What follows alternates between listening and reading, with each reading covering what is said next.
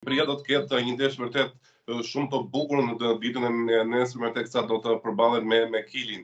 Gjithmonë e kemi cilësuar si një miqësore jo të zakontë, pasi jemi mësuar që Shqipëria të përballet me ekipe të dorës së dytë apo të dorës së tretë në Evropë. Dhe këtë herë nuk bëhet fjalë për një ekip të tillë evropian.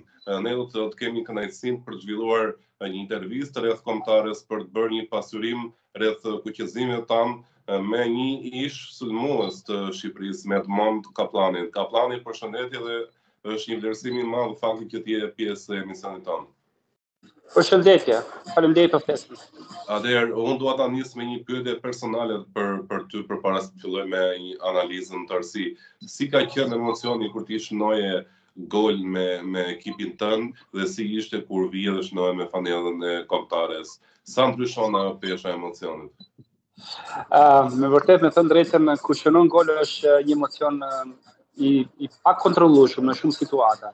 Por golin e parë që kam bërë me ekipin tonë kombëtar ka qenë një një një një kënaqësi që edhe vetë nuk e dija mund të bëja edhe 5 xhiro rreth rreth rrotull domethënë pistës edhe nuk nuk do lodhsha.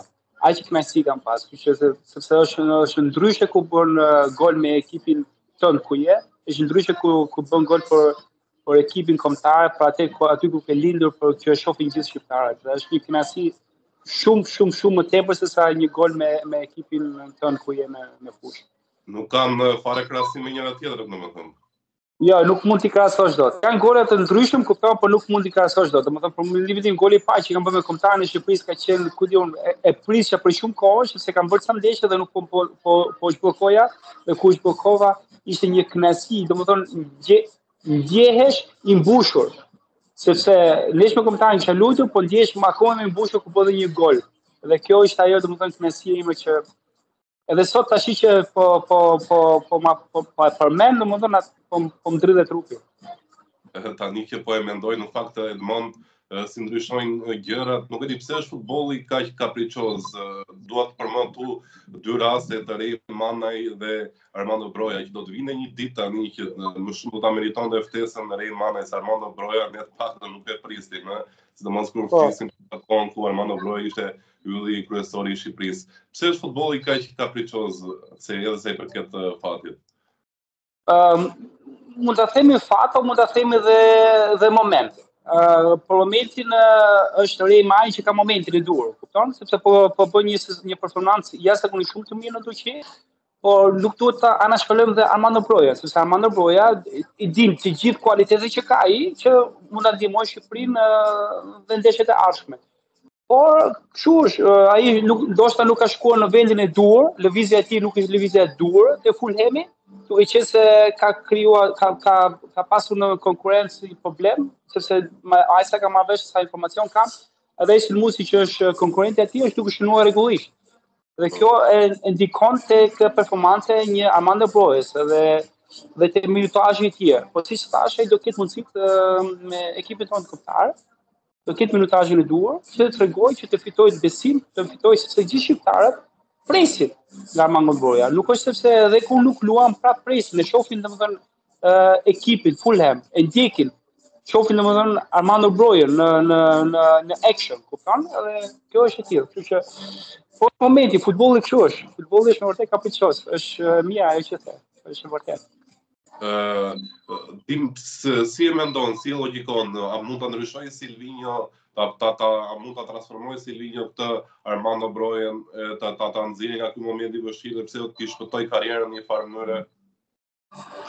Ëm, sinqerisht është unë e kam thënë edhe më parë, edhe para disa muajsh për për Armando Brojën, është i vetmi shpëtim që mund të bëjë është vetvetja. Ai mund të shpëtojë vetveten. Edhe duke e ditur sepse ai duhet t'i dijë cilësitë e tij, duhet ta kuptojë kualitetin që ka, cilësitë që ka dhe cilësitë duhet t'i shfrytëzojë edhe në grup, jo vetëm individuale. Edhe ai pak a shumë po e kupton që kombëtarja nuk është vetëm Armando Broja, kombëtarja është e të gjithëve.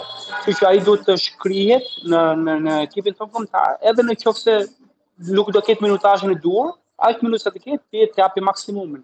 Edhe mendimi im që edhe Silvinho dhe edhe stafi aty, stafi i kombëtares po mundohen që këto cilësi që ka t'ia tregojnë. Të paktën aq sa shoh unë, kupton? Kështu që si thash, fundja fare lojtari është i vetmi që mund të ndryshojë vetveten e vet në shumë situata, sepse Silvinho aq kohë ka 10 ditë apo një javë që është grumbullohet kombëtarja.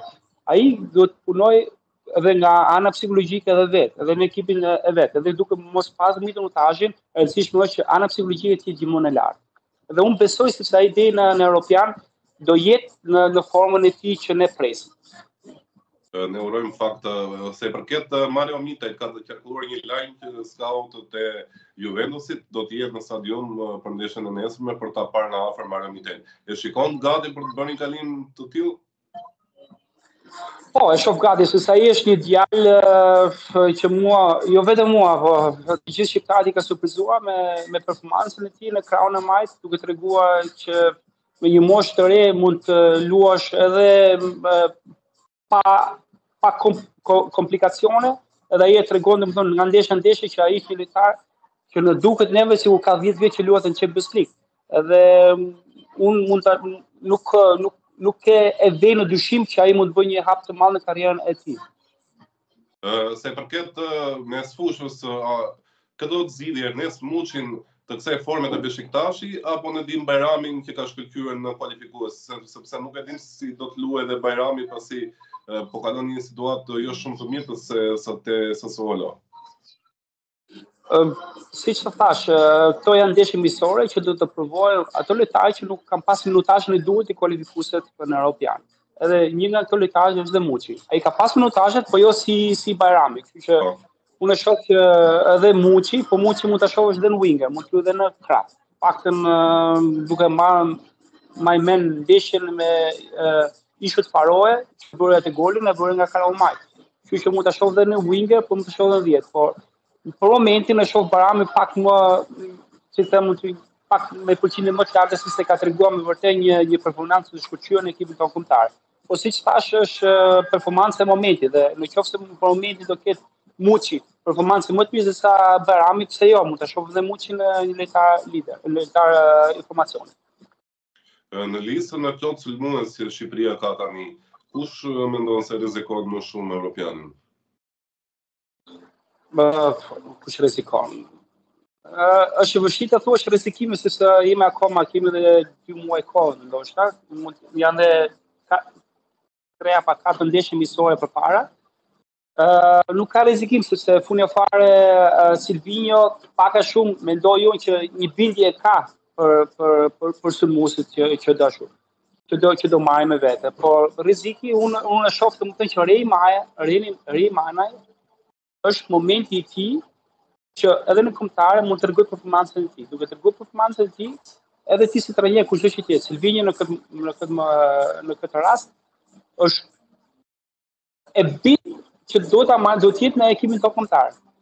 Edhe i, i përshtatet edhe lojës stilit, pak a shumë që shoh unë lojës stilit të Silvinjos, sepse di të luajë me shpinë, di të luajë me topin, edhe di të shfrytëzojë hapësirat, është al, altruist, di të pasojë pasin e fundit.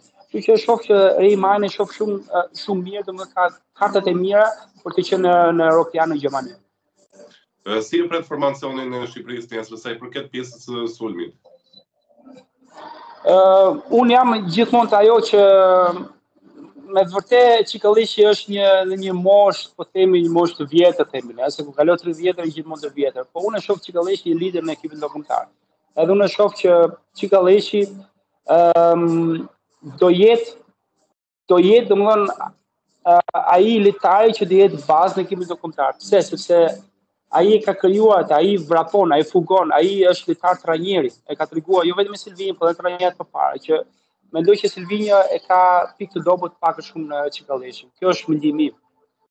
Dhe për ta mbyllur, kur të dalë dhe lista për Evropianin, a mendon a do a mendon se do të ketë polemika të mëdha siç ka qenë dikur me me me Shqipërinë për faktin se Shqipëria nuk është një kombëtare që shkon shpesh në Evropian apo mendon se Silvinho do ta menaxhojë në mënyrë të përsosur gjithçka? Me thënë të drejtën, polemika do ketë gjithmonë. Siç ka pasur dhe më parë, dhe ndeshje mas ndeshje, pse nuk u thirr ky, pse nuk luajti ky, polemika do jetë gjithmonë, ashtu. Por unë mendoj që dhe Silvinho dhe stafi stafi i kombëtares janë duke bërë punë shumë të mirë, edhe jo vetëm nga ana sportive, por edhe nga ana psikologjike, sepse në fund fare ka një një një barrë, një peshë që jo çdo person do ta kishte dëshirë ta kishte atë, sepse janë ca zgjidhje që do marri, që ndoshta nuk nuk do jetë zgjidhje për një person do jetë pozitive, për një person tjetër do jetë negative, kështu që është një do jetë polemika do të ketë gjithmonë, kështu që polemikat nuk mund të mediat nuk mund t'i heqë dot, sepse do ketë gjithmonë një person tjetër që do bëjë një pyetje, do bëjë një një një polemikë, kështu që polemika do ketë, Por, siç thashë, e rëndësishme është që ekipi jonë kombëtar të ketë një performancë sa më të mirë në Europian, sepse mundësitë janë, nuk kemi çfarë të humbim, që do tregojmë gjithmonë më të mirë. Ok, shumë faleminderit që ishe pjesë e jona, Moncada Klajdi, dhe ne urojmë sigurisht që Shqipëria të na gëzojë nesër me një fitore. Faleminderit dhe juve, të kalë